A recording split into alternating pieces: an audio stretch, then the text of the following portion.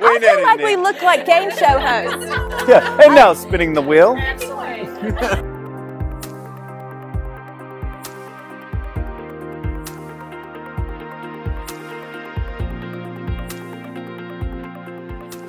Welcome to Inside the Mind of today's mattress shopper, and we have Nick Bates with Spring Air today to tell us the Spring Air story and just what Nick is seeing. You all have a wonderful durability story here at Spring Air, and we have just uncovered that the mattress replacement cycle has dropped to 8.3 years. How does that translate at Spring Air? So one thing that we like to think of is number one, they want to see the warranty process. They want to be able to see that on the mattress. So our last mattress brand, we upped the warranty. We made it 20 years. Now, should you keep your mattress 20 years? Your research says no, and they're right. What we think is that every six to eight years, your life changes. You have a baby, maybe you lose weight, maybe you hurt your hip. All those changes make it so you either need a different mattress or a different firmness level. That the mattress didn't fail, but your body changed in a way and your life changed in a way where it doesn't suit your needs anymore. And we believe that that research nailed it, where it's every six to eight years, and 8.3 is right around the number.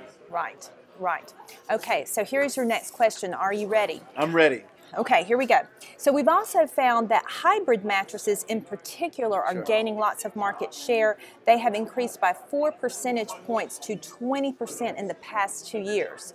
We understand you have a big hybrid story. I mean, you're going big with that, Nick. Tell our audience just. So I didn't get to see those numbers, but two and a half years ago, we took our product development committee, which each one of our factories gets to join, one person.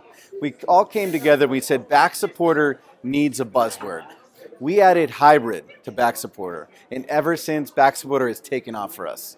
So we took that a step further, and right behind us, actually, you'll see our hybrid plus mattresses. We continue to use that buzzword, and I love the numbers you're showing because that means we did the right thing, and we're starting to gain traction in the marketplace. Wow. So we are right lockstep with you at Spring Air then with our research. So with last mattress, you don't literally mean it's this person's last mattress. You mean It'll be the last mattress that you will need, but your body will change, and it won't be the last mattress you'll ever have. All right, so you have heard it here today from Nick Bates from our Better Sleep Council research. Thank you so much for tuning in, and Nick, thanks so Hey, much thank for you your for time having me. today.